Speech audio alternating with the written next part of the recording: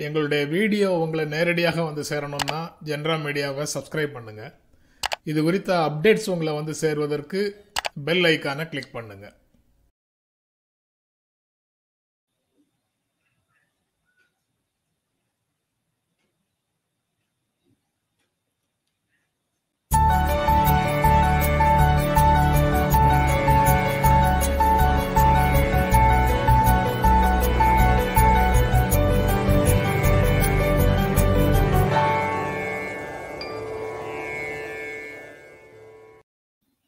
நண்பர்கள் அனைவருக்கும் வணக்கம்.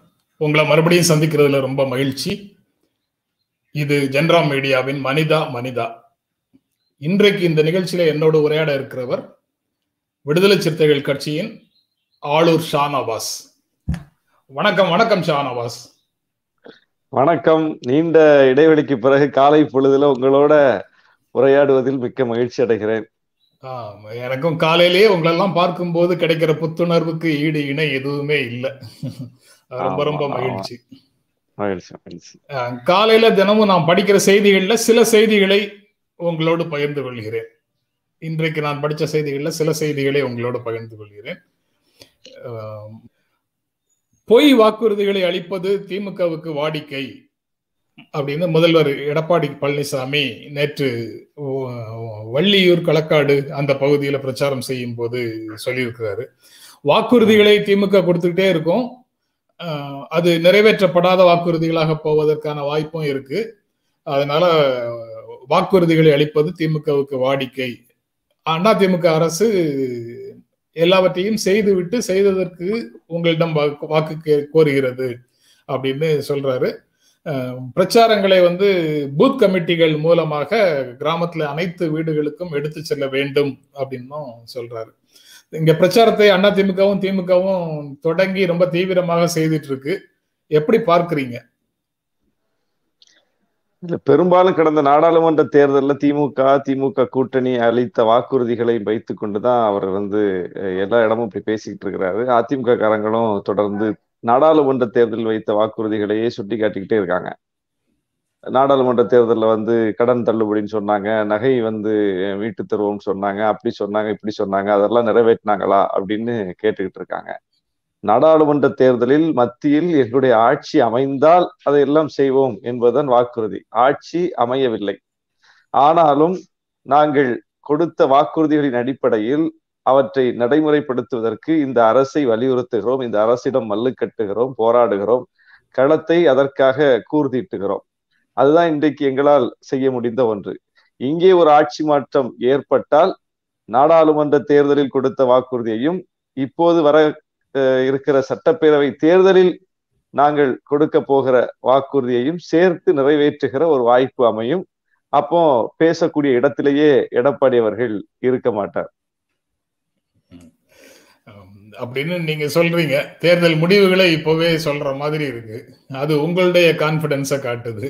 ஆனா அவர் வந்து ரொம்ப கான்பிடண்டா வேற யாருக்கும் அதிமுக இடமே இல்லை என்று சொல்லி அவர் ரொம்ப கான்பிடண்டா பிரச்சாரத்தை செய்துட்டு இருக்கிற மாதிரி தானே இருக்கு. அத களம் அப்படி சொல்லலையே.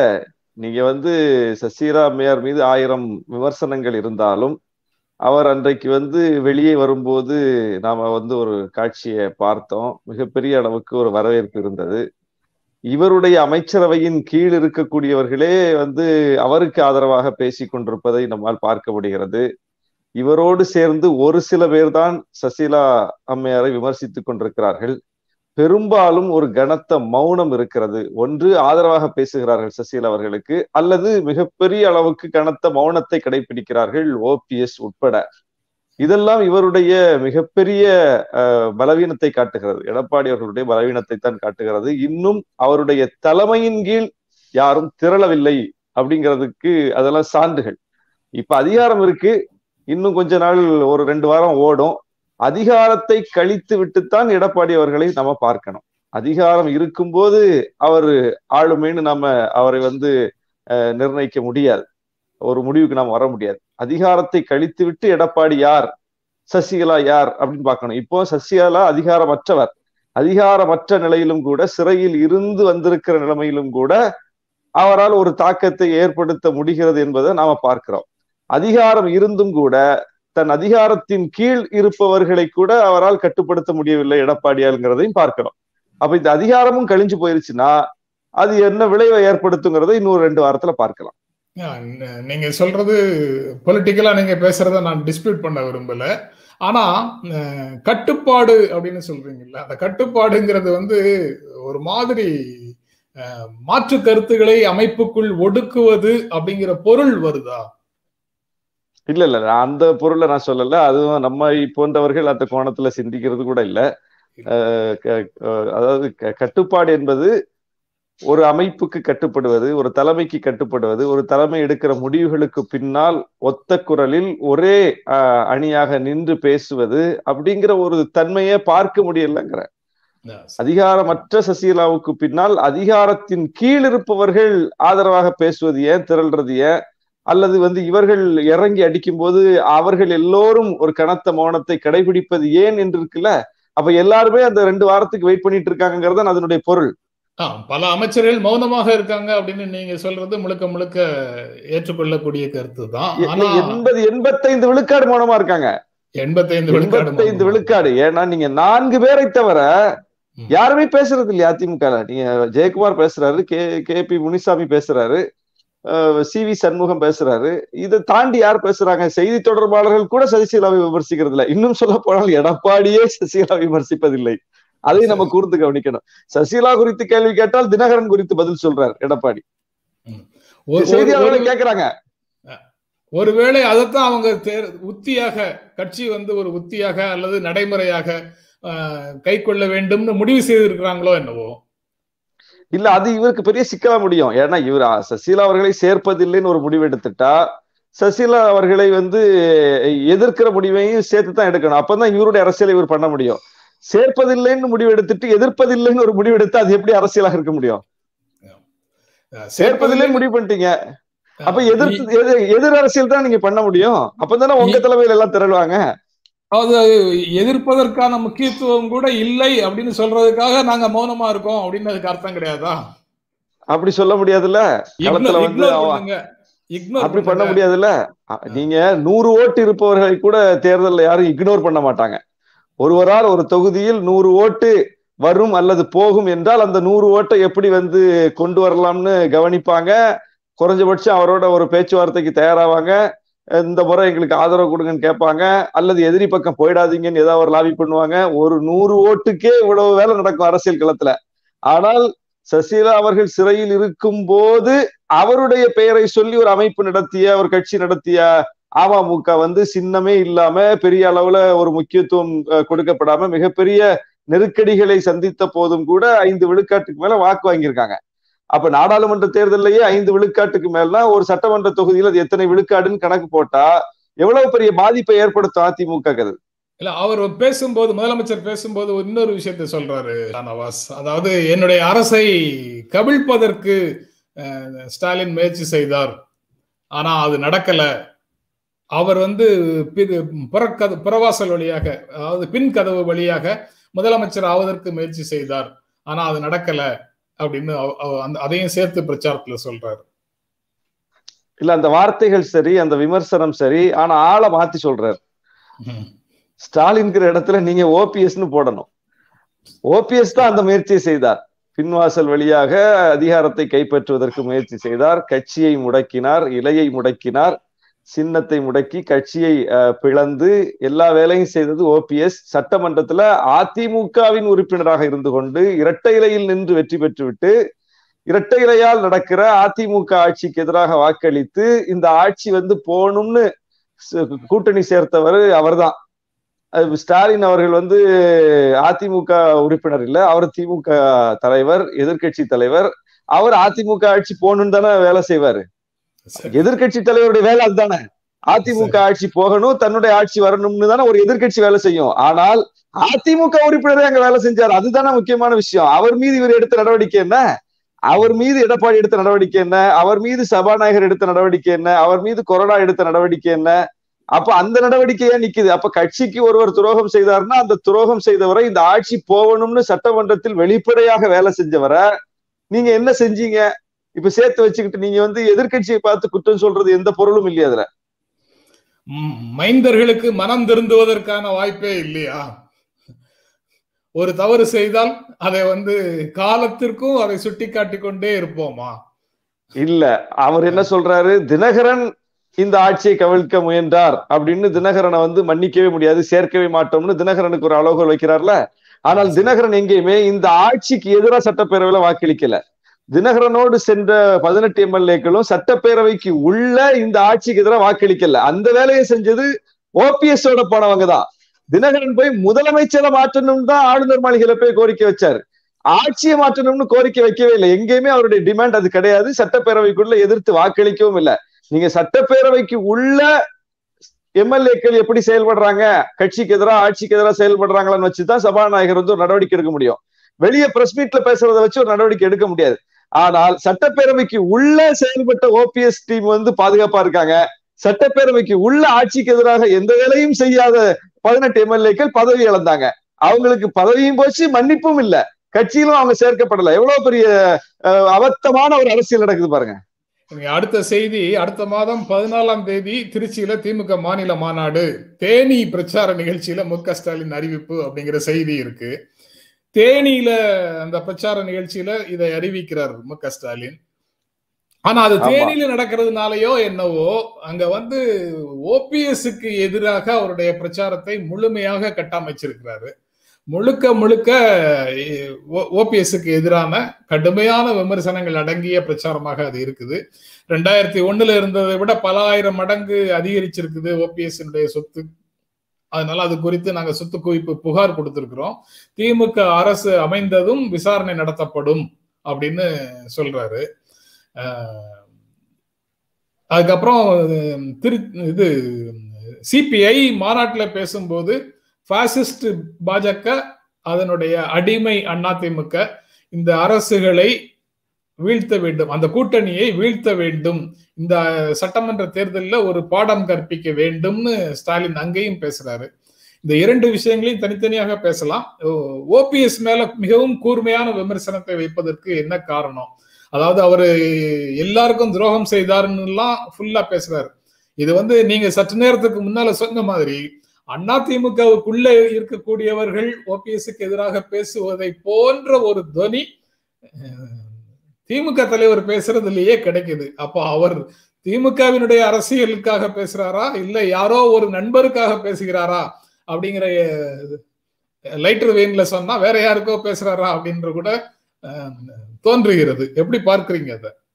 இல்ல ஓபிஎஸ்சி நடவடிக்கை அப்படி இருக்குதுல்ல. ஓபிஎஸ்சி நடவடிக்கை வந்து யாருக்கும் உண்மையாக இல்லை. ஜெயலலிதா அவர்களுக்கும் உண்மையாக இல்ல. சசிகலா அவர்களுக்கும் உண்மையாக இல்ல. அதிமுகங்கிற கட்சிக்கும் உண்மையாக இல்லை. தன்னை நம்பி வந்த யாருக்கும் உண்மையாக இல்லை தமிழ்நாட்டுக்கும் உண்மையாக இல்ல. அவருடைய நடவடிக்கை பாருங்க அவர் முழுக்க முழுக்க பாஜகவின் கைப்பாவையாக மாறி பாஜக கிழிக்கிற கோட்டில் பயணித்து பாஜகவின் திசை வெளியிலேயே கரைந்து போகிற ஒரு தலைவராக அவர் மாறிட்டார். இன்னைக்கும் கூட அவருக்கு சொந்த கட்சியிலேயே மதிப்பில்லாம போனதுக்கு அதுதான் காரணம். ஜெயக்குமார் அவருடைய அமைச்சரவையில் இருக்கக்கூடிய ஒரு அமைச்சர். இவர் துணை முதல்வர். அவர் அமைச்சர். கட்சியில பார்த்தீங்கன்னா அவர் வந்து செய்தி தொடர்பாளர். இவர் கட்சியினுடைய ஒருங்கிணைப்பாளர். கிட்டத்தட்ட அவர் தான் தலைவர். இன்னைக்கு தலைவர்னா ஓபிஎஸ் தான். ஓபிஎஸ்ஸின் தலைமையில் தான் இன்னைக்கு அதிமுக இருக்குது. அதிமுகவுடைய ஒருங்கிணைப்பாளர்ங்கிற உச்ச பொறுப்புல அவர் இருக்கிறாரு. ஆனால் ஓபிஎஸ் ஒரு கருத்தை சொன்னால் அது அவருடைய சொந்த கருத்துன்னு யார் சொல்றாங்கன்னா கட்சியினுடைய செய்தி தொடர்பாளர் ஜெயக்குமார் வந்து சொல்றாரு. அவர் ஓபிஎஸ் அவர் சொந்த கருத்து சொல்லியிருக்கிறாரு அப்படின்னு. இந்த அளவுக்கு ஓபிஎஸ்னுடைய சொல் மதிப்பிழந்து போனதற்கு அவருடைய தலைமையின் கீழ் இருக்கக்கூடிய ஒருவரே வந்து அது சொந்த கருத்து தான் அப்படின்னு சொல்லக்கூடிய அளவுக்கு அவருடைய நிலைமை மாறி இருக்குது. அதற்கு அவர் தான் காரணம். ஏன்னா வந்து அவரு முழுக்க முழுக்க முழுக்க முழுக்க தமிழ்நாட்டினுடைய விஷயங்கள்ல சரண்டர் ஆயிட்டார். அவருடைய சொந்த மகனையே அவரால் வந்து கட்சிக்கு ஆதரவாக செயல்பட வைக்க முடியவில்லை. கட்சி ஒரு நிலைப்பாடு எடுக்குது. அதிமுகவுக்குன்னு ஒரு கொள்கை இருக்குது. அந்த கொள்கைக்கு மாறாக அந்த நிலைப்பாட்டுக்கு மாறாக அவருடைய மகன் நாடாளுமன்றத்தில் பாஜகவினுடைய நிலைப்பாட்டை எடுக்கிறார். இது வரைக்கும் எந்த நடவடிக்கையும் எடுக்க முடியலையே. ஒரு ஒரு நோட்டீஸ் கூட அனுப்ப முடியலையே அவருக்கு. அந்த அளவுக்கு வந்து கட்சியை வந்து விட்டு கொடுத்துட்டார்ல. அவருடைய சொந்த நலனுக்காக கட்சியை பிளந்தார்ல.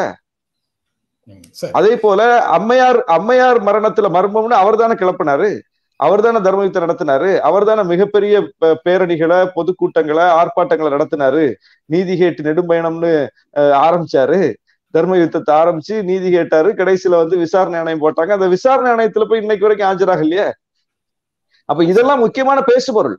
இதை வந்து எதிர்கட்சி கையில எடுக்கத்தான் செய்யும். அப்படி எடுத்ததுனால தான் இன்னைக்கு பாருங்க பெரிய குளத்தில் அவருடைய சொந்த தொகுதியிலேயே ஊராட்சி மன்ற தலைவர் பதவியை திமுக கைப்பற்றி இருக்குது இது வந்து ஒரு முன்னோட்டம். சரி. நீங்க ஜெயக்குமார் பத்தி சொன்னீங்க. ஜெயக்குமார் இன்னொரு விஷயத்த நேற்று பேசும்போது சொல்லியிருக்கிறாரு. அதிமுக சசிகலா தினகரனுக்கு எந்த உரிமையும் இல்லை. உச்சநீதிமன்றம் ஏற்கனவே தெளிவுபடுத்தி இருக்கிறது அப்படின்னு அவரு சொல்றாரு. நீங்க அதை எப்படி பார்க்கறீங்க? ரொம்ப அபத்தமான ஒரு வாதம் இது. இது என்னன்னா இந்த இரட்டை இலை வழங்கப்படும் போது தேர்தல் ஆணையம் வந்து தெளிவா வழங்கியிருக்குது. இப்போது இருக்கிற இந்த டீம் அதாவது இந்த பிரிவு மதுசூதனன் ஓபிஎஸ் இபிஎஸ் என்கிற இந்த பிரிவுக்கு இரட்டை இலை வழங்கப்படுகிறது அப்படின்னு தான் சொல்லப்பட்டிருக்கே தவிர இவங்க தான் முடிந்த முடிவாக அதிமுக ஏற்கனவே ஜெயலலிதா அவர்கள் இருந்தது போல ஒருங்கிணைந்த அதிமுக இவங்களுக்கு தான் வந்து டிஸ்பியூட் இல்லாம இந்த சின்னத்தை வழங்குகிறோம்னு சொல்லலை. அப்ப இவங்க ஒரு தரப்புன்னா அப்ப இன்னொரு தரப்பு இருக்காங்கன்னு அர்த்தம். அதுதானே உண்மை அதுல? இன்னொரு தரப்பே இல்லைன்னா இந்த தரப்புக்கு வழங்குகிறோம்னு ஏன் வந்து தேர்தல் ஆணையம் சொல்லணும்? அப்ப ஒரு தரப்புக்கு அது வழங்கப்படுகிறது என்றால் இன்னொரு தரப்பு அங்க இருக்கிறாங்க. அவங்க ஒரு மனுவோட உட்கார்ந்து இருக்கிறாங்க அவங்க ஒரு கோரிக்கையோட இருக்கிறாங்க. அவங்க ஒரு முறையீட்டுல இருக்கிறாங்கன்னு பொருள். அப்போ முறையீட்டில் இருக்கிறார்கள். டிஸ்பியூட்ல பிரச்சனை இருக்குங்கிறத தேர்தல் ஆணையமும் நீதிமன்றமும் ஒப்புக்கொண்டிருக்கிறது. நீதிமன்றத்தில் வழக்கு இருக்கிறது. அந்த வழக்கு இன்னும் முடிவுக்கு வரவில்லை. இந்த திரும்ப அவங்க வந்து இப்போ நீதிமன்றத்துக்கு போறாங்கல்ல சுசீலா அவர்கள்? முடிந்த முடிவாக அறிவிக்கப்பட்டிருந்தா நீதிமன்றத்துக்கு போற வாய்ப்பு அவங்களுக்கு எப்படி இருந்திருக்கும்? உச்ச நீதிமன்றமே முடிந்த முடிவா சொல்லி எல்லாம் முடிஞ்சு போச்சு. இதுல வந்து உங்களுக்கு இனி கோருவதற்கு ஒன்றுமில்லை என்று முடிக்கப்பட்டிருந்தால் திரும்பி பதினஞ்சாம் தேதி நீதிமன்றத்துக்கு போக போறேன் அப்படின்னு அறிவிக்கிறாங்கன்னா எப்படி அறிவிக்கிறாங்க? அப்ப அதற்கான முகாந்திரம் இருக்க போய் தானே அறிவிக்கிறாங்க. அப்ப பொதுச் செயலாளராக பொதுக்குழுவால் தேர்ந்தெடுக்கப்பட்ட சசிகலா அவர்கள் பொதுச் செயலாளர் இல்லை என்று இதுவரை அறிவிக்கப்படவில்லை. அவரும் ஒரு தரப்பாகத்தான் தேர்தல் ஆணையத்தால் கருதப்படுகிறார். எனவே முடிந்த முடிவாக அந்த வழக்கு ஒரு முடிவுக்கு வரும் வரை அவர் பொதுச் செயலாளர் தான். சரி. அடுத்தது துணைநிலை ஆளுநராக தமிழிசை புதுச்சேரியில பதவி ஏற்பு.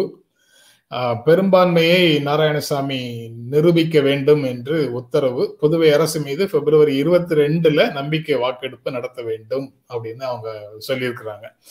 கையெழுத்திட்ட அதாவது பதவி ஏற்ற சில மணி நேரங்களிலேயே மிக முக்கியமானது ஒரு உத்தரவை டாக்டர் தமிழிசை போட்டிருக்கிறார்கள் அப்படின்னு அந்த செய்தி சொல்லுது. புதுவையும் தெலுங்கானாவும் என் இரட்டை குழந்தைகள் நான் வந்து அதை கவனித்துக் கொள்வேன் அப்படின்னுலாம் சொல்றாங்க. ரொம்ப மகிழ்ச்சி. ஏன்னா மகாராஷ்டிராவையும் தமிழ்நாட்டையும் சேர்த்து பார்த்த ஆளுநர் வந்து இங்கு முக்கியமாக இருக்க வேண்டிய நேரத்துல இங்கு இல்லாம போயிட்டாரு. அது போன்ற நிலைமைகள் அங்கு வராது. இது அது போன்ற நிலைமை அங்கு வராது என்பது அவங்க சொல்றதுல இருந்து ரொம்ப தெளிவாக தெரியுது. எப்படி எப்படி பார்க்கறீங்க அங்க? புதுவையில நடக்கக்கூடிய நிகழ்வுகளை. அதாவது அமெரிக்கா குறித்து நம்முடைய மேதக பிரபாகரன் அவர்கள் சொல்லும் போது ஒரு கூற்றை சொன்னதா எங்க தலைவர் வந்து சொல்வார். அமெரிக்காவின் கோர முகம் இஸ்ரேல் அன்பு முகம் நார்வே அப்படின்னு சொல்லி அவர் சொன்னாராம். ரெண்டுமே அமெரிக்காவால் இயக்கப்படுகிற சக்திகள் தான். ஆனா ரெண்டு முகத்தை அமெரிக்கா வச்சிருக்கு. ஒண்ணு கோர முகம் இஸ்ரேலு அன்பு முகம் நார்வே. பேச வேண்டிய இடத்துக்கு நார்வே அனுப்பும். செய்ய வேண்டிய வேலை செய்யறதுக்கு இஸ்ரேல் அனுப்பும் அப்படிங்கிற மாதிரியான ஒரு புரிதல் தான் அது. அந்த மாதிரி புதுவையில் கிரண்பேடி அவர்களினுடைய முகம் எப்படிப்பட்டது அவருடைய நடவடிக்கை எப்படிப்பட்டது அது ஏற்படுத்திய விளைவுகள் என்னங்கிறத பாஜக நன்று உணர்ந்து விட்டது. இந்த இடத்துல இப்போ தமிழிசை போன்ற இந்த மண்ணுக்கு தொடர்பான இந்த மண்ணோடு ஒட்டிய இந்த மக்களினுடைய பண்பாட்டோடு அடையாளப்பட்ட ஒரு முகத்தை அனுப்பி அங்க வந்து சூழலை தனக்கு சாதகமாக மாற்ற வேண்டிய ஒரு நெருக்கடிக்கு பாஜக இந்திய ஒன்றிய அரசு தள்ளப்பட்டிருக்கிறது.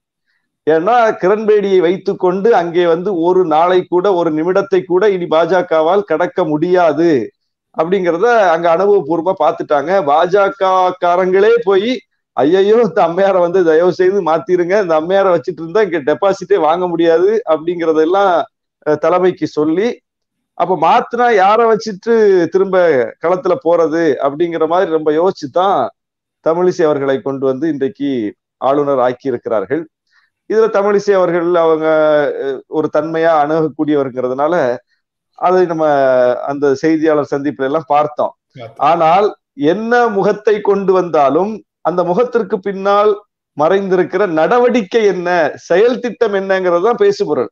காலையில இனிப்பாக வளர்ச்சியாக பேசிய தமிழிசை அவர்கள் மத்தியானமே வேலைய ஆரம்பிச்சிட்டாங்க. அப்ப அது தமிழிசை அவர்களின் செயல்பாடு அல்ல. தமிழிசை அவர்களை யார் நியமித்திருக்கிறார்களோ எதற்காக நியமித்திருக்கிறார்களோ அவர்களின் அதற்கான செயல்பாடு. அப்போ அது இல்ல ஷானவாஸ் தொடர்ந்து அங்கு சட்டமன்ற உறுப்பினர்கள் ராஜினாமா செய்துட்டு போறாங்க. அரசுக்கு பெரும்பான்மை இல்லை என்ற சூழல்ல அரசுக்கு பெரும்பான்மை இருக்குது அப்படிங்கிறத மெய்ப்பித்து விடுங்கள் அப்படின்னு சொல்வது வந்து தவறாக கொள்ள முடியுமா? அதாவது நீங்க சொல்றது சட்டப்பூர்வமாக எழுத்துப்பூர்வமாக காகிதத்தில் இருப்பதை பின்பற்ற வேண்டிய ஒரு நிலையில் சரி. ஆனால் ஒரு அரசியல் அறம் சார்ந்து யோசித்து பாருங்க. இன்னைக்கு இந்தியா முழுவதும் பாஜக இதை ஒரு வேலை திட்டமாக செய்து கொண்டிருக்கிறது. ஆட்சியை கவிழ்ப்பது யாருக்கு வேணாலும் ஓட்டு போடுங்க. ஆனா எங்க ஆட்சி தான் அப்படிங்கிறத ஒரு எழுதப்படாத விதியாவே மாத்திட்டாங்க. எந்த கட்சியில வேணாலும் போய் எம்எல்ஏ ஆயிக்கிடுங்க ஆனா எம்எல்ஏ ஆன பிறகு எங்க கட்சிக்கு வந்துருங்க. அதை வந்து பதவியை ரிசைன் பண்ணிட்டு திருப்ப தேர்தலை வர வச்சு அந்த தேர்தலை நிறுத்தி தன்னுடைய அதிகார வலிமையோட திரும்ப அவங்கள உறுப்பினராக தேர்ந்தெடுக்க வைக்கக்கூடிய அளவுக்கு ஒரு சூழலை நம்ம பார்க்கிறோம். ஆட்சியை வந்து பிடிச்சிடுறாங்க. இந்தியா முழுவதும் பார்க்கிறோம். ஒரு எம்எல்ஏ ரெண்டு எம்எல்ஏ வச்சுக்கிட்டு ஆட்சியை நடத்துறாங்க. எதிர்கட்சி ஜெயிச்ச இடத்துல அந்த அஹ், கட்சி உறுப்பினர்களை கொண்டு இவங்க ஆட்சியை தொடர்றாங்க. தமிழ்நாட்டுல ஒரு எம்எல்ஏ கூட இல்லாமலேயே ஆட்சியை நடத்துறாங்க. அப்போ ஒரு எம்எல்ஏ கூட இல்லாமலேயே ஆட்சி நடத்தக்கூடிய அளவுக்கு இந்த ஆட்சி அதிகாரம் ஆஹ், வந்து அதனுடைய நுட்பங்கள் கைவர பெற்றிருக்கிற பாஜக புதுவையை விட்டு வைப்பாங்களா? காங்கிரஸ் இல்லாத இந்தியாவை உருவாக்கணும்னு வெளியே ஒரு முழக்கத்தை வச்சிருக்கிறாங்க. எவ்வளவு ஒரு ஜனநாயக புறம்பான முழக்கம். ஒரு கட்சியே இல்லாத ஒரு இந்தியாவை கட்டமைப்போம்னு சொல்றது எவ்வளவு ஒரு மோசமான முழக்கம் பாருங்க. அப்படி எந்த கட்சியும் இது வரைக்கும் சொன்னதில்லை. ஆனா அவங்களுடைய முழக்கமே அப்படித்தான் இருக்குது. ஒரு கட்சி அதிகாரத்திலிருந்து அப்புறப்படுத்துவோம் நாங்க அதுக்காக வேலை செய்வோம்னு சொன்னா அது அது சரி. ஆனால் ஒரு கட்சியே இல்லாத இந்தியாவை உருவாக்குவோம்னு சொல்றது எப்படி? பாஜக இல்லாத இந்தியாவை உருவாக்குவோம்னு காங்கிரஸ் நினைத்திருந்தா அன்னைக்கு பாஜக ஒரு கட்சியா இருந்திருக்க முடியுமா? அப்ப அது வந்து ஒரு ஜனநாயக புறம்பான முழக்கத்தை ஜனநாயக புறம்பான வழிகளில் முன்வைத்து செயல்படுத்திட்டு இருக்காங்க. அந்த அடிப்படையில தான் இன்னைக்கு புதுவையில் காங்கிரசுக்குள்ள வந்து ஒரு கழகத்தை மூட்டி காங்கிரசுக்குள்ள இருந்து ஆட்களை வெளியே கொண்டு வந்து அவங்கள வந்து ரிசைன் பண்ண வச்சு ராஜினாமா செய்ய வச்சு தங்கள் கட்சியினுடைய பொறுப்பாளர்களா மாற்றி வச்சுக்கிட்டு இன்னைக்கு இந்த வேலையை செய்யறாங்க நான் என்ன கேட்கிறேன் புதுவையில காங்கிரஸ் ஆளும் கட்சி. ஆளும் கட்சியிலிருந்து சில பேர் விலகி முக்கியமான பொறுப்பில் உள்ளவர்கள் விலகி அந்த கட்சிக்கே தலைவராக இருந்தவர் கூட விலகி நேர பாஜகவுக்கு போறாங்க.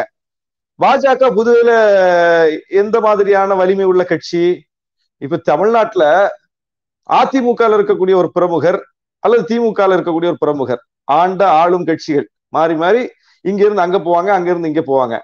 ஆனா தமிழ்நாட்டுல வந்து ஏழாவது இடத்துல எட்டாவது இருக்கிற இடத்துல இருக்கிற ஒரு கட்சிக்கு வந்து ஒரு ஆளும் நிலையில் பொறுப்புல உள்ளவர் வந்து போவாரா? போக மாட்டாங்க அது சாத்தியம் இல்ல அப்ப எங்க போனா அந்த வாய்ப்பு இருக்குது அங்க போவாங்க. ஆனா பிஜேபிக்கு போறாங்களே புதுவையில? புதுவையில அதிமுகங்கிற கட்சி இருக்கு திமுகங்கிற கட்சி இருக்குது. என்ஆர் காங்கிரஸ் ஒரு கட்சி இருக்குது. புதுவைக்கு முன்- புதுவைக்கு முன்னால திரிபுரால போனாங்க.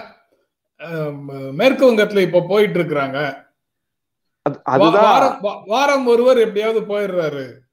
அதுதான். அது பாஜகவினுடைய அந்த அளவுக்கு அங்க உண்டான ஆட்சி மேல அங்க இருக்கக்கூடிய சட்டமன்ற உறுப்பினர்களுக்கு அதிருப்தி இருக்குது. அதனால நான்- வாரம் அதிருப்தி இருக்கிறவங்க வந்து எங்க போறாங்கங்கிறது முக்கியமானது இல்ல. அங்க களத்திலேயே இல்லாத ஒரு கட்சிக்கு ஏன் போறாங்க? அப்ப என்ன எதிர்பார்ப்புல போறாங்க? அந்த கட்சி களத்துல வலிமையா இருக்குது. அந்த கட்சி அடுத்தது ஆட்சியை பிடிக்க போகுது. அந்த அளவுக்கு வலிமையா இருக்குதுன்னா அந்த கட்சிக்கு போவாங்க. அரசியல் களத்துல இயல்பா நடக்கிறது தான். ஆனா அங்க என்ன காங்கிரஸ் ஒரு கட்சி இருக்கு? போகல. புதிய களத்தை புதிய களத்தை உருவாக்குவதற்காக போக கூடாதா ஆஹ் அது எது எப்படி போறாங்கன்னு பாருங்க. அப்போ அந்த களத்தில் இல்லாத ஒரு கட்சிக்கு போய் ஒரு களத்தை புதிய களத்தை கட்டமைக்கிறார்கள்னா அதுக்கு பின்னணி என்ன? அது வந்து ஒரு இயல்பாக நடக்கிறது இல்லையா? இயல்புக்கு மாறான ஒன்றால இருக்குது. அப்போ பாஜக வேறு தன்னுடைய அதிகார வலிமையை பயன்படுத்தி தான் அந்த வேலைகளை செய்ததை தவிர அங்க களத்தில் இருக்கக்கூடிய வலிமையை பயன்படுத்தி அதை செய்யல. அதைத்தான் நம்ம பார்க்கணும். அந்த அளவுக்கு வந்து மோசமான ஒரு செயல்பாட்டோடு வந்து புதுவை இன்னைக்கு நகர்த்திட்டு இருக்காங்க. மக்கள்கிட்ட மிகப்பெரிய கொந்தளிப்பு இருக்குது. நீங்க வந்து துணைநிலை ஆளுநராக இருந்த கிரண்பேடி அவர்கள் கடந்த நான்கரை ஆண்டுகளுக்கு மேலாக அவருடைய நாராயணசாமி அரசை செயல்பட விடாமல் எந்த நடவடிக்கையும் எடுக்க விடாமல் எல்லாவற்றுக்கும் முட்டுக்கட்டை போட்டுக் கொண்டிருந்தாருங்கிறத மக்கள் பார்த்து மக்கள்கிட்ட மிகப்பெரிய கொந்தளிப்பு ஏற்பட்டதுனால தான் அந்த அம்மையாரை வைத்துக்கொண்டு தேர்தலை சந்திக்க முடியாதுங்கிற சூழ்நிலையில இன்னைக்கு வந்து நாராயணசாமியினுடைய கோரிக்கை ஏற்கப்பட்டிருக்குது. அம்மையார் மாற்றப்பட்டிருக்கிறார். அது நாராயணசாமி வைத்த முழக்கம். கிரண்பேடியை மாற்றணுங்கிறது. அப்ப காங்கிரஸ் வைத்த முழக்கத்தை பாஜக எனக்கு நிறைவேற்றி கொடுக்குது? காங்கிரஸ் உடைய கோரிக்கையின் மீது பாஜக வந்து கன்வின்ஸ் ஆயிடுச்சுன்னு அர்த்தமா? காங்கிரசுக்கு சாதகமான சூழலை பாஜக உருவாக்கி கொடுக்குதுன்னு அர்த்தமா? அது அல்ல அர்த்தம். பாஜகவுக்கு புரிந்து விட்டது களத்தினுடைய நிலைமை. அந்த அப்படியே அந்த தன்மையோட போக முடியாது அப்படின்னு. அதனால அவங்க மாற்றினதே காங்கிரசுக்கு கிடைத்த மிகப்பெரிய வெற்றி தான் மேற்கு வங்கத்துல உள்துறை அமைச்சர் அமித்ஷா பிரச்சாரம் செய்கிறாரு பாரதிய ஜனதா கட்சி ஆட்சிக்கு வந்தால் ஊழலுக்கு முடிவு கட்டப்படும் அப்படின்னு சொல்றாரு. இங்க சிபிஐ மாநாட்டில் திருமாவளவன் பேசும்போது BJP wants to further Sanatana Dharma அப்படின்னு சொல்றாரு. அதனால அதற்கு முயற்சி செய்யும் சனாதன தர்மத்தை நிலைநாட்டுவதற்கு முயற்சி செய்யும் பாரதிய ஜனதா கட்சியை அதன் கூட்டணியை தோற்கடியுங்கள் அப்படின்னு திருமாவளவன் சொல்றாரு. இந்த இந்த இரண்டு செய்திகளையும் எப்படி பாக்குறீங்க ரொம்ப முக்கியமான ஸ்டேட்மெண்ட் அதாவது அமித்ஷா அவர்கள் கொடுத்த ஸ்டேட்மெண்ட்டும் எங்க தலைவர் கொடுத்த ஸ்டேட்மெண்ட்டும் ரொம்ப முக்கியமான ஸ்டேட்மெண்ட் தான். அமித்ஷா சொல்றாரு ஊழல் இல்லாத நிலையை உருவாக்குவோம் அப்படின்னு. இதே முழக்கத்தை அவர் வந்து தமிழ்நாட்டிலே வந்து பேசினாரு. தமிழ்நாட்டுல ஊழல் ஆட்சி நடக்குதுன்னு சொன்னாரு. அவங்களுடைய ஊழியர்கள் பத்தாயிரம் பேர் அவங்களுடைய ஊழியர்களை கூட்டி வைத்து வெறும் தொண்டர்கள் இல்லை கட்சியினுடைய பொறுப்பாளர்கள் முன்னணி கள செயல்பாட்டாளர்கள் அவங்க கட்சியினுடைய பொறுப்பாளர்களை வைத்து கொண்டு இதே சென்னையில வந்து அவர் வந்து பேசினாரு. ஊழல் ஆட்சி நடக்குது அப்படின்னு சொன்னாரு. அது போல கழகங்கள் இல்லாத தமிழ்நாடுன்னு தமிழ்நாட்டில் இருக்கிற முக்கியமான சுவர்கள் எல்லாம் எழுதி வச்சாங்க பாஜக காரங்க ஒரு பரப்புரையாவை மேற்கொண்டாங்க.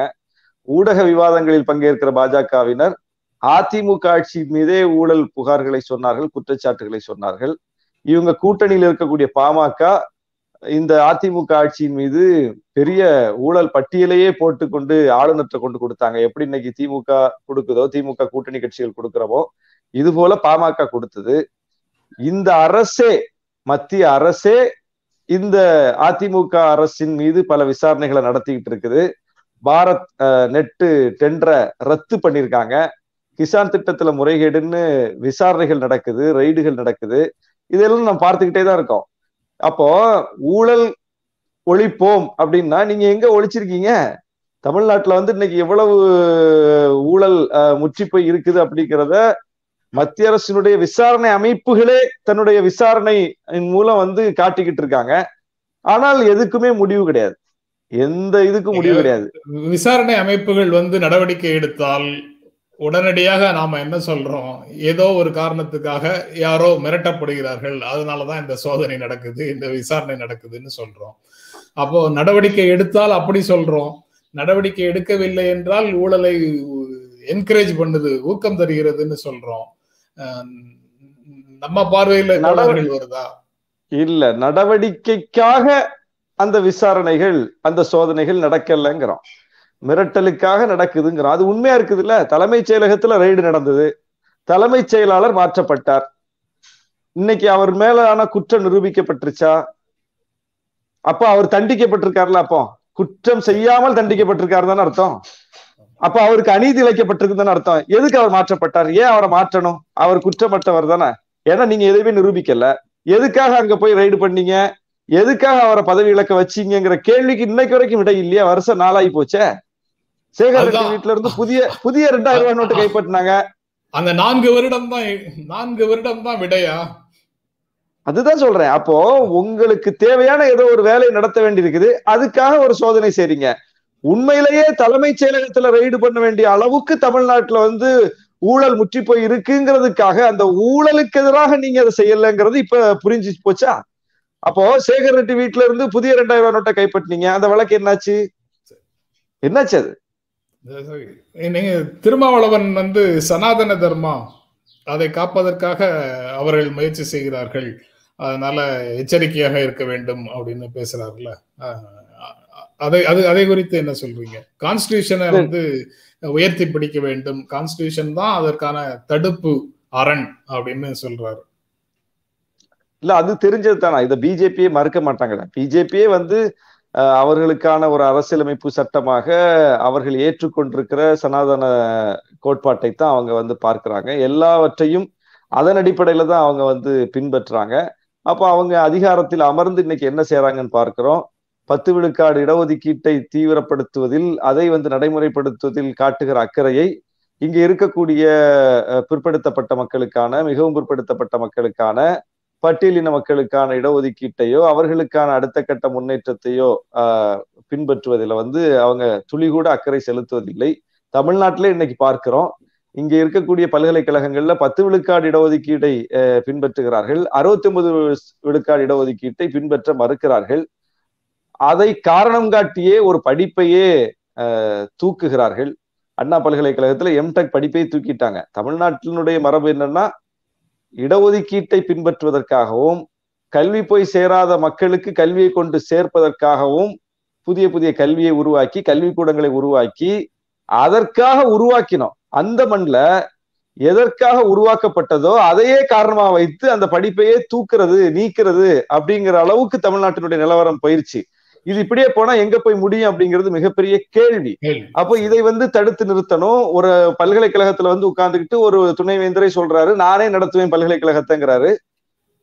மாநில அரசால் உருவாக்கப்பட்ட மாநில அரசினுடைய வரிப்பணத்தால் மக்களுடைய போராட்ட குணத்தால் உருவாக்கப்பட்ட கல்வி கட்டமைப்புகளுக்கு மிகப்பெரிய ஆபத்து வந்திருக்கிறது இடஒதுக்கீடு ஆபத்துக்கு வந்திருக்கிறது. பிற்படுத்தப்பட்ட மக்களுக்கான அந்த ஓபிசி ரிசர்வேஷன் வந்து பின்பற்றப்படுவதில்லை. இப்படி பல பிரச்சனைகள் இருக்குது. இது எல்லாம் எதனுடைய கோர்? இன்னைக்கு வந்து ஒரு செய்தியாளர் வந்து ஒரு உரையாடல்ல ஹெச் ராஜாட்ட கேட்கிறார் வன்னியர்களுக்கான இடஒதுக்கீடு இருபது விழுக்காடு கேட்கிறார மருத்துவர் ராமதாஸ்? அதை பத்தி உங்களுடைய நிலைப்பாடு என்னன்னு கேட்டா ஹெச் ராஜா வந்து கடைசி வரைக்கும் தன்னுடைய நிலைப்பாட்டை சொல்லவே இல்லை. நான் கருத்து சொல்ல விரும்பவில்லைங்கிறார். பத்து விழுக்காடு இடஒதுக்கீடு குறித்து கருத்து கேட்டா அவர் கருத்து சொல்ல விரும்பவில்லைன்னு சொல்லுவாரா? அது நடைமுறைப்படுத்தணும்னு போராடினாங்க. அது நடைமுறைப்படுத்துவதற்கு முனைப்பு காட்டுறாங்க. ஆனால் அவர்கள் கூட்டணியில் இருக்கக்கூடிய ஒரு கட்சி ஒரு சமூகத்திற்கு இடஒதுக்கீடு வேணும்னு ஒரு கோரிக்கை வைக்கும் போது அது குறித்து கருத்து இல்லைங்கிறார். இன்னும் சொல்ல போனா அவங்க எல்லாம் இவருடைய பார்வையில இந்துக்கள் தான். அந்த இந்துக்களுக்காகத்தான் நான் போராடுறேங்கிறார். அந்த இந்துக்களுக்காகத்தான் இந்து பட்டியலில் இருக்கக்கூடிய அந்த ஒரு சமூக பிரிவுக்கான இடஒதுக்கீட்டுக்காகத்தான் ஒரு முழக்கம் வைக்கப்படும் போது அது குறித்து கருத்தே இல்லை என்றால் எந்த அளவுக்கு அவங்க தெளிவா இருக்காங்க? நாம விமர்சிக்கிறோம். ராமதாஸ் வந்து தேர்தலுக்காக இதை செய்யறாருன்னு ஒரு விமர்சனத்தை வைக்கிறோம். ஆனாலும் அந்த கோரிக்கை அநியாயமானது அந்த மக்களுக்கு இடஒதுக்கீடு கொடுக்க கூடாது அப்படின்னு நம்ம சொல்ல வரல. இடஒதுக்கீடு எல்லா சமூகத்துக்கும் அவருடைய விழுக்காட்டுக்கு ஏற்ப வழங்கப்பட வேண்டும் என்கிற கொள்கை பார்வையில் இருந்து யார் இடஒதுக்கீடு குறித்து கோரிக்கை வைத்தாலும் அதை வரவேற்கக்கூடிய இடத்தில் நாம இருக்கிறோம். ஆனால் அது குறித்து கருத்தே இல்லைங்கிறார் பாருங்க. இதுதான் ஆபத்தானது. அடுத்தது இன்னும் ஒரு முக்கியமான செய்தி. அதாவது பல்வேறு விஷயங்கள்ல பன்மைத்தன்மை கொண்ட பண்பாடு அப்படின்னு கலாச்சார வேறுபாடுகளை அங்கீகரிக்கக்கூடிய ஒரு காஸ்மோபாலிட்டன் நகரம் பாரிஸ் நாடு பிரான்ஸ்ன்னு நம்ம பேசிட்டு இருப்போம்.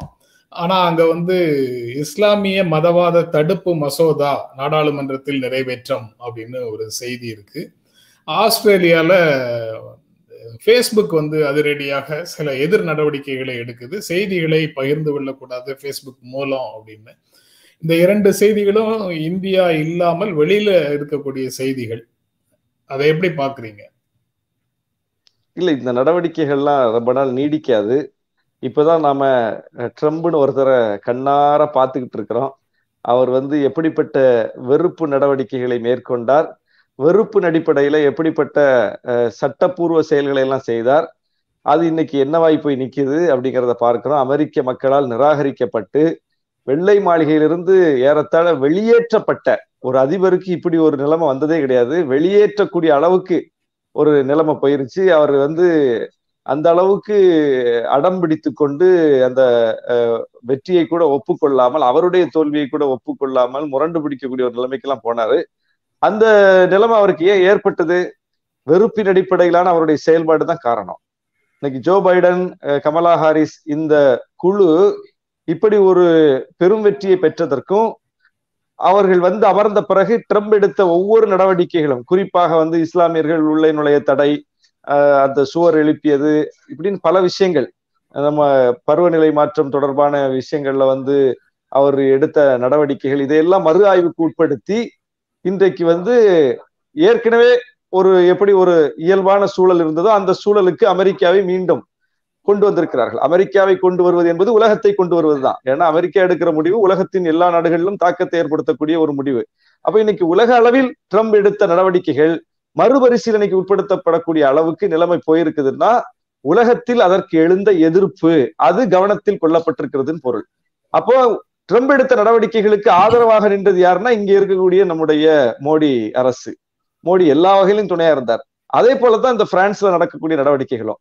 பிரான்ஸ்ல வெளிப்படையாக ஒரு மதத்தை குறிவைத்து ஒரு சமூகத்தை குறிவைத்து அரசே ஒரு செயல்பாட்டை செய்து ஊக்குவிக்குது. யாராவது வந்து ஒரு கார்ட்டூன் போட்டா திட்டமிட்டே போட்டா வேணும்னே போட்டா அதை அரசு வந்து ஊக்குவிக்கக்கூடிய சூழலை பார்க்கிறோம். அதன் மீது ஒரு நடவடிக்கை எடுக்காம அதை வந்து வந்து இது போல விஷயங்கள்ல வந்து மக்களை வந்து பிளவுபடுத்துகிற நடவடிக்கைகளுக்கு வந்து ஒரு கட்டுப்பாடுகள் விதிக்காம அதற்கு கட்டற்ற சுதந்திரத்தை கொடுத்து அதன் மூலம் ஒரு சமூக பதற்றத்தை உருவாக்கி அந்த மண்ணினுடைய தன்மையே மாற்றி அமைக்கக்கூடிய வேலையை அரசு செய்து அதற்கு இங்கிருந்து நம்முடைய மோடியும் வந்து ஆதரவாக நிற்கக்கூடிய ஒரு சூழலை பார்க்கிறோம். ஏன்னா இவங்க எல்லாமே அந்த வலதுசாரி சிந்தனையாளர்கள் ஒரே அணியில இருக்காங்க. ட்ரம்பா இருந்தாலும் பிரான்ஸ் அதிபராக இருந்தாலும் மோடியாக இருந்தாலும் பிரிட்டன் அதிபராக இருந்தாலும் எல்லாரும் இந்த நான்கு பேரும் ஒரே கோணத்துல ஒரே புள்ளியில சந்திக்கக்கூடியவர்களாக இருந்தாங்க. இவங்களுடைய பெரிய அண்ணன் வந்து இன்னைக்கு வீழ்ந்துட்டாரு. பெரிய அண்ணனுக்கு சம்மட்டி அடி விழுந்துருச்சு. அடுத்தடுத்து அந்த தாக்கம் எல்லா இடம் இருக்க போது பிரான்சிலும் கூட ஒரு நல்ல சூழல் வரும். ஒரே ஒரு சந்தேகம் ஷானவாஸ் நீங்க சொன்னதுல. வலதுசாரி சிந்தனையினுடைய வெளிப்பாடு அப்படின்னு சில வன் செயல்களை கையாள்வதில் அரசு எடுக்கக்கூடிய நடவடிக்கைகளை நம்ம கடந்து போயிட முடியுமா? எதிர்வினைகளாக இருக்கலாம். எதிர்வினை காரணமாக கடுமையான படுகொலைகளை நிகழ்த்துற மாதிரியான நிகழ்வுகள் நடக்குதுன்னா அதை வந்து எளிதாக கடந்து போக முடியுமா ஒரு அரசு? இல்ல சட்டப்புறம்பான எல்லா செயல்பாடுகளுக்கும் நிச்சயமாக நடவடிக்கை எடுக்கப்பட வேண்டும். அந்த நடவடிக்கை எடுக்கக்கூடாதுன்னு உலகத்துல எந்த மூலையில இருந்து யாரும் சொல்ல போறதில்லை. அப்படிப்பட்ட நடவடிக்கைகளுக்கு இசைவாகத்தான் எல்லாரும் இருப்பாங்க. யாருமே வந்து ஒரு அநாகரீக மனித விரோத செயல்களை வந்து அங்கீகரிக்க மாட்டாங்க. மனித சமூகம் வந்து ஒரு நேசத்தோடும் உண்மையான அறத்தோடும் இருக்கணும்னு நினைக்கக்கூடிய யாருமே சட்டப்புறமான செயல்பாடுகளை ஊக்கப்படுத்த மாட்டாங்க. மனித விரோத செயல்பாடுகளை ஊக்கப்படுத்த மாட்டாங்க. அப்படி இருக்கும்போது இப்படிப்பட்ட சக்திகள் தலை தூக்குவதற்கான களத்தை ஏன் கூர்மப்படுத்துறீங்க அந்த கேள்வி இருக்குது இல்ல பிரான்ஸ்ல அப்படிப்பட்ட சக்திகள் தலை தூக்குவதற்கான களத்தை ஏன் கூர்மப்படுத்துறீங்க? கனடால ஏன் அப்படிப்பட்ட சக்திகள் எழும்பல்ல கனடால ஏன் எழும்பல்ல கனடா ஏன் வந்து அமைதியா இருக்குது? ஏன்னா அங்க எல்லோருடைய உணர்வுக்கும் மதிப்பளிக்கப்படுகிறது. எல்லாருடைய உரிமையும் பகிர்ந்தளிக்கப்படுகிறது. அதுதான் முக்கியமானது. ஒரு ஒரு வளர்ந்த நாகரிகமிக்க சமூகத்திற்கு அதுதான் அடையாளம். ஆனால் நீங்க ஒருவருடைய உணர்வை காயப்படுத்தக்கூடிய வகையில அவங்கள வந்து தூண்டி களத்துக்கு இழுத்து வரக்கூடிய செயல்பாடுகளை ஒரு பக்கம் கூர்மைப்படுத்திட்டு அந்த செயல்பாடுகளின் விளைவாக யாராவது வந்து சட்டப்புறமான செயல்களை செஞ்சா அதை வந்து பெரிதுபடுத்தி அதற்கு ஒரு நடவடிக்கை என்கிற அளவுக்கு போகும்போதுதான் உண்மையான நடவடிக்கை என்பது அதற்கு அதற்கான காரணிகளை கண்டறிந்து அதை தடுப்பதுதான். நீங்க வந்து காரணத்தை அப்படியே வச்சுக்கிட்டு அந்த காரணத்தால் ஏற்படுகிற விளைவுகளை மட்டும் தண்டிப்பேன்னா அது நீங்க வந்து எந்த காலத்திலயும் அதுக்கு தீர்வு கிடையாது. அப்போ அந்த காரணம் அப்படியே இருக்குதுல்ல? இன்னைக்கு ஒருத்தரை தண்டிச்சிருவீங்க இந்த காரணம் அப்படி இருக்கும்போது நாளைக்கு ஒருத்தர் அப்படி கிளம்பி வருவாரு. அவர் என்ன பண்ணுவீங்க? நீங்க நீங்க சொல்ற பதிலை ஒட்டி தான் அடுத்த செய்தியும் இருக்கு. தொடர்ச்சியாக அந்த ஒரு செய்தியிலேருந்து ஆரம்பிச்சா கடைசி செய்தி வரைக்கும் ஒரு தொடர்பும் அதுல வருது. Is India criminalising comedy and entertainment அப்படின்னு ஹிந்துல இன்னைக்கு எடிட் பேஜ்ல ஒரு கட்டுரை போட்டிருக்காங்க. அத அதாவது சாதாரணமாக எடுத்து செல்லக்கூடிய எடுத்துட்டு போக வேண்டிய அந்த ஸ்டாண்டப் காமெடிகள் எல்லாமே பொழுதுபோக்காக நடந்த விஷயங்கள் எல்லாமே யூடியூப்ல மற்றபடி இணையத்துல பிரபலமானதற்கு பிறகு அரசு வந்து அது மக்களை சென்று அடைவது குறித்து ஒரு கவலை கொள்கிறது. அதனால கிரிமினல் ஆக்ஷனாக அரசோ அரசிடம் புகார் அளிக்கக்கூடிய பாதிக்கப்பட்ட நபர்களோ காமெடி என்டர்டெயின்மெண்ட் எல்லாத்தையுமே வந்து குற்றச்செயல்களாக மாத்தி கொண்டிருக்கிறோமா அப்படின்னு கேள்வியை முன் வச்சு ஒரு கட்டுரை போட்டிருக்காங்க. நான் உங்களோட பகிர்ந்து கொண்டதுக்கு பிறகு குறுகிய காலம்தான் இருந்தது. நீங்க அதை முழுக்க படிச்சிருக்க முடியுமாங்கிறது சந்தேகம் தான் ஆனா அந்த பொருள் பற்றி நம்மளால பேச முடியும் அப்படின்னு நான் நினைக்கிறேன். ஆமா.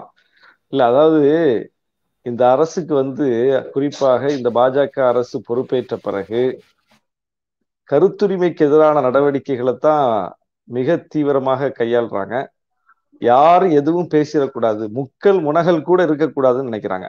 எந்த வடிவத்தில் விமர்சனங்கள் வந்தாலும் எந்த வடிவத்தில் ஒரு மாற்று கருத்து வந்தாலும் அதை ஏற்றுக்கொள்வதற்கோ ஜீரணிக்கவோ இந்த அரசுக்கு வந்து ஒரு நிலைப்பாடு இல்லை துணிவில்லை அதனால என்ன பண்றாங்கன்னா கொடும் சட்டங்களின் மூலம் தண்டிக்கக்கூடிய கொடும் சட்டங்களை அவர்கள் மீது பாய்ச்சக்கூடிய வாய்ப்பூட்டு போடக்கூடிய செயல்பாடுகளை முடக்கக்கூடிய எல்லைக்கு போறாங்க. அப்படிதான் இந்த பல கைதுகள் நடந்துகிட்டு இருக்குது. நம்ம பார்த்துக்கிட்டு இருக்கோம். செயல்பாட்டாளர்கள் சுற்றுச்சூழல் ஆர்வலர்கள். சுற்றுச்சூழல் ஆர்வலர் செயல்பாட்டாளர்கள் அந்த நிலைமைக்கு போறாங்கன்னா சாதாரண மக்கள் அவங்களுக்கு எந்த செயல்பாடுமே இருக்காது. ஏதாவது ஒரு விஷயத்த ஷேர் பண்ணியிருப்பாங்க ஒரு கருத்தை சொல்லியிருப்பாங்க. இப்போ ஓவியா கோ பேக் மோடின்னு ஒரு ட்வீட் போட்டாங்க. அவங்க என்ன செயல்பாட்டாளரா? அரசியல் செயல்பாட்டாளரா? அல்லது சுற்றுச்சூழல் ஆர்வலரா? இதுக்கு முன்னால இந்த அரசினுடைய கொள்கைகளை எதிர்த்து எங்கேயாவது பேசியிருக்காங்களா? ஒண்ணுமே கிடையாது. அவங்க ஒரு திரைக்கலைஞர். ஒரு திரைக்கலைஞர் ஒரு விஷயத்துல தமிழ்நாட்டோடு தொடர்புடையவர். தமிழ்நாட்டிலையும் பல திரைப்படங்கள் நடிச்சிருக்கிறாங்க. கேரளாவோட அவருக்கு அந்த மண்ணை சார்ந்தவர். அப்படிப்பட்ட ஒரு நிலைமையில தமிழ்நாட்டினுடைய கள நிலைமை அவருக்கு புரிஞ்சதுனால அவரும் அந்த ஹேஷ்டாக் அந்த பயணத்தில் தன்னை இணைத்துக் கொண்டிருக்கிறார். அவ்வளவுதான். அதுக்கு மேல அவற்றை அதுல ஒண்ணுமே கிடையாது. ஆனால் அதற்காக போய் அவர் மேல புகார்.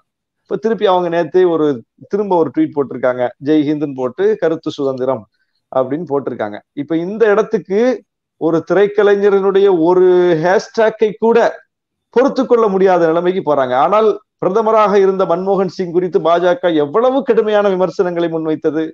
அவர் ஒரு பொருளாதார அறிஞர். அவருடைய அறிவுக்கு கொஞ்சமாவது மதிப்பு கொடுத்தாங்களா? அவர் வந்து ஒரு பண்பான மனிதர். யாரு குறித்தும் கடுஞ்சொல் பேசி நம்ம பார்த்ததில்ல. யார்ட்டையும் வந்து கடுகடுன்னு பேசி நம்ம பார்த்ததில்ல. அவருடைய செயல்பாட்டில் நமக்கு விமர்சனம் இருக்கலாம். அவருடைய பொருளாதார கொள்கையில் நமக்கு விமர்சனம் இருக்கலாம். இல்ல நான் கேட்கக்கூடிய சந்தேகம் வந்து மன்மோகன் சிங் தொடர்பானது இல்ல. அதனால நான் கேட்கறது மன்மோகன் சிங்க்கு அப்ளிகபிளா அப்ளை பண்ணி நான் கேட்கல. ஆனா அப்படி மென்மையாக இருக்கக்கூடிய ஒரு மனிதர் ஒரு அரசுக்கு தலைமை தாங்கும் போது மக்களை கடுமையாக பாதிக்கக்கூடிய நடவடிக்கைகளை எடுக்க மாட்டார் என்பதற்கு ஏதேனும் உத்தரவாதம் உண்டா? இல்ல நான் அப்படி சொல்ல வரல. அவருடைய செயல்பாட்டுல அவருடைய பொருளாதார கொள்கையில விமர்சனம் இருக்கலாம் அதை விமர்சிக்கலாம் தான் சொல்றேன். அவரை எதிர்த்து போராடலாம். அந்த அரசை எதிர்த்து போராடலாம். பாஜக போராடியது. காங்கிரஸ் ஆட்சி காலத்துல பெட்ரோல் டீசல் விலை உயர்ந்த போது கேஸ் விலை உயர்ந்த போது காங்கிரஸ் பாஜக சும்மா இருந்துச்சா? அப்போ மன்மோகன் சிங் ஒரு காரணத்தை சொன்னார். சர்வதேச சந்தையில கச்சா எண்ணெய் விலை கடுமையான விலையேற்றத்துல இருக்குது உச்சத்துல இருக்குது. அந்த உச்சத்தை காரணம் காட்டி இங்க நம்ம ஏற்ற வேண்டிய நெருக்கடியில் இருக்கோம்னு ஏற்றினார். இன்னைக்கு கச்சா எண்ணெய் விலை உச்சத்துல இல்லையே? மன்மோகன் சிங்கிக்காவது சொல்லுவதற்கு ஒரு காரணம் இருந்தது. உங்களுக்கு காரணமே இல்லை ஆனா நூறு ரூபா ஆக்கிட்டீங்க பெட்ரோலை. கேஸ் விலை இன்னைக்கு வந்து என்ன விலை விற்கிது சிலிண்டர் விலை. அப்போ இந்த இடத்துக்கு போயிட்டீங்க. இப்போ அன்றைக்கு எதிர்த்து நீங்கள் போராடியதுனால் அது தேச விரோத போராட்டமா? ஒரு அரசின் நடவடிக்கை எதிர்த்து போராட்டம் நடத்துவது தேச விரோதம்னா நீங்க போராடினீங்களா ஒரு அரசின் திட்டத்தை எதிர்ப்பது தேச விரோதம்னா மத்திய அரசு கொண்டு வந்த இந்திய ஒன்றிய அரசு கொண்டு வந்த சேது சமுத்திர திட்டத்தை பாஜக எதிர்த்து போராடியதா இல்லையா முடக்கியதா இல்லையா? அப்போ ஒரு அரசின் திட்டத்தை எதிர்த்து போராடினால் முடக்கினால் அது வந்து தேச விரோதம்னா அப்ப பாஜக செய்ததற்கு பேர் என்ன? அதே மாதிரி இன்னைக்கு மோடி யாரா விமர்சிச்சுட்டா உடனே மோடியினுடைய மதத்தை தொடர்பு படுத்தி ஒரு இந்துங்கிறதுனால விமர்சிக்கிறாங்க. மோடி ஒரு இந்துங்கிறதுனால இந்து விரோதிகள் சேர்ந்து அவரை விமர்சிக்கிறாங்க அப்படிங்கிறாங்க. அப்ப மன்மோகன் சிங்கை நீங்க விமர்சிச்சீங்களா அதுக்கு பேர் என்ன? சீக்கிய விரோதமா? இப்படியெல்லாம் வந்து இந்த நாட்டினுடைய விவாத களத்தை மாற்றிட்டாங்க பாருங்க. எவ்வளவு அபத்தமான ஒரு வாதம் இதெல்லாம். அப்போ ஒரு பிரதமர் ஒரு அரசு என்றால் அது விமர்சனத்துக்கு உட்பட்டதுதான். அந்த விமர்சனம் கண்ணியமாக இருக்க வேண்டும். விமர்சனம் அரசியல் பூர்வமாக இருக்க வேண்டும். தனி மனித தாக்குதலா இருக்கக்கூடாது. அவர்களுடைய விருப்பு வெறுப்பின் அடிப்படையில் இருக்கக்கூடாது. அவ்வளவுதான் வரையறை. இதை ஒரு அரசு வலியுறுத்தலாம். யாருக்கும் வலியுறுத்தலாம். கண்ணியமா பேசுங்க அநாகரிகமா பேசாதீங்க மதத்தை இழுத்து பேசாதீங்க தனிப்பட்ட தாக்குதல் நடத்தாதீங்க அப்படின்னு சொல்லக்கூடிய ஒரு பொறுப்பு அரசு கடமை அரசுக்கு உண்டு. அதை பின்பற்ற வேண்டிய பொறுப்பு எல்லாருக்கும் உண்டு. ஆனால் இங்க வந்து பேசவே கூடாதுங்கிறது தானே பிரச்சனை இப்போ. நீங்க வந்து ஒரு ஒரு ஒரு ஒரு ஒரு கார்ட்டூன் போட முடியல ஒரு நாடகம் போட முடியல ஒரு பாட்டு வெளியிட முடியல திரைக்கலைஞர்கள் மற்ற பொதுவான கலைஞர்கள் செயல்பாட்டாளர்கள் ஒரு துண்டு பிரசுரம் விநியோகிக்க முடியல. ஒரு கம்ப்யூட்டர்ல வந்து ஒரு ஒரு அஹ், ஒரு அரசு தொடர்பான அந்த போராட்டம் தொடர்பான ஒரு டிராஃப்ட் வச்சுக்க முடியல. எல்லாவற்றிலும் தலையிட்டு அதை வந்து தேச விரோதமாக சித்தரிப்பது அப்படிங்கிறது எவ்வளவு பெரிய அநியாயம் பாருங்க. தேசத்துக்காக போராட்டம் தானே. சுற்றுச்சூழலுக்கான போராட்டம் என்பது இந்த மண்ணை காப்பதற்கான போராட்டம். இந்த மண்ணு நல்லா இருக்கணும். இந்த மண்ணு வந்து யாராலும் துன்புறுத்தப்படக்கூடாது. இங்கே உள்ள சூழல் நல்லா இருக்கணும் அப்படின்னு போராடுறது தேசத்துக்கான போராட்டமா தேச விரோத போராட்டமா? அப்போ இப்படி அதை தேச விரோதமாக சித்தரிப்பது என்பது பாஜகவினுடைய ஒரு உத்தி. அதை வந்து அது எடுபடாதானா? காலையிலே வந்து உங்களுடைய கருத்துக்களை பகிர்ந்து கொண்டதற்கு ரொம்ப ரொம்ப ரொம்ப நன்றி ஆளுர் ஷா நவாஸ் நன்றி நன்றி நன்றி. நாகரிகமான விமர்சனங்களை ஒரு பண்பாடாக வளர்த்தெடுக்க வேண்டிய பொறுப்பு எல்லாருக்கும் இருக்குங்கிறது இந்த பேசிய. செய்திகள்ல இருந்து கிடைக்கக்கூடிய உணர்வாக இருக்கு. ஆமா ஆமா. அது அப்படித்தானே? நம்ம விமர்சனங்கள் எல்லை தாண்டக்கூடாது நாகரிகமாக. ஆமா ஆமா ஆமா. அஹ், அந்த பண்பாட்டை ஒரு நம்ம ஒரு பண்பாடாக நம்ம சமூகத்துல நம்ம வளர்த்தெடுப்பதற்கு நம்மாலான இயன்ற நம்மாலான அனைத்து முயற்சிகளையும் எடுக்கணுங்கிற உணர்வை கொடுக்குது ஆமா. ரொம்ப ரொம்ப நன்றி ஷானவாஸ். ரொம்ப மகிழ்ச்சி. ஒரு நீண்ட உரையாடலை நடத்தியதுல ரொம்ப மகிழ்ச்சி. இது அடிக்கடி நாம பேசுவோம். ஆஹ் அடிக்கடி சந்திப்போம். ரொம்ப நன்றி. நன்றி மீண்டும் சந்திப்போம். நன்றி வணக்கம்.